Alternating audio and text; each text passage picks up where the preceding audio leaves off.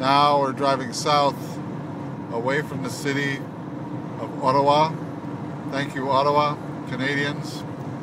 Um, and this giant sphere, blue sphere, is uh, almost like a blanket. I think it's very comforting to, to many, many people.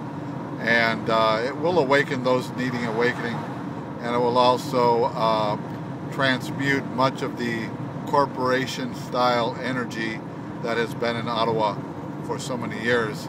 And I also want to thank, as a Chicago Blackhawk hockey fan, I want to thank Ottawa for trading Marian Hossa to the Blackhawks so that they could win the Stanley Cup.